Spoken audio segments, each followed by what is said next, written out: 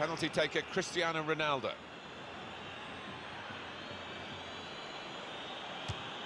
Put the penalty away, and very confident he was.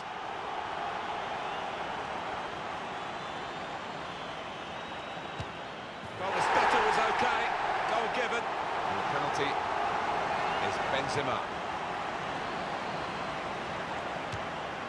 And that's a good penalty in the circumstances.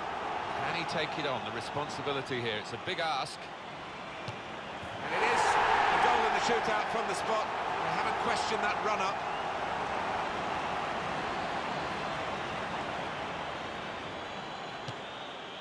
That's a good penalty. His shootout's very testing. Well, up he steps. There's no hiding place. And he looks apprehensive. Keeper committed. The chip works. Oh, great stuff from him.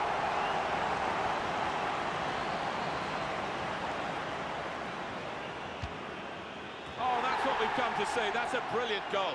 Body language isn't very good at the moment.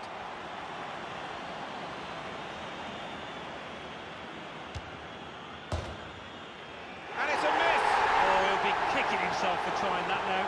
Well, this is it, the moment of truth. If he scores, they win.